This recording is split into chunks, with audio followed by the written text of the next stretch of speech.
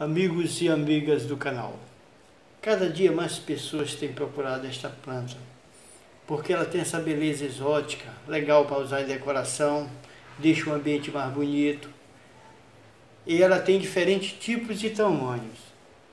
Algumas espécies da família dos cactos são benéficas para a saúde e também servem como alimentos.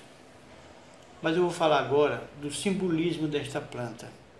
O cacto representa a bravura das pessoas do sertão, do Nordeste, gente acostumada a trabalhar no sol e às vezes até de sol a sol.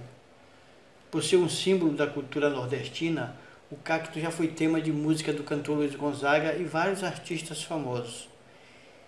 E agora a gente está vendo aí no Big Brother Brasil, no BBB 21, a participante Juliette Freire, que é nordestina da Paraíba, cuja torcida aqui fora adotou nas redes sociais o emoji de um cacto como símbolo também. Então eu pesquisei e vi que existe uma variedade de plantas como esta. São muitos tipos de plantas suculentas e o cacto é apenas uma delas. E como eu falei no começo do vídeo, o cacto tem também muitos benefícios para a saúde.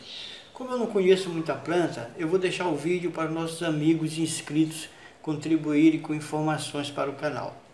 Então você que ainda não é inscrito no canal, se inscreva e dê essa força aí com informações para a gente divulgar aqui para os nossos amigos e nossos inscritos.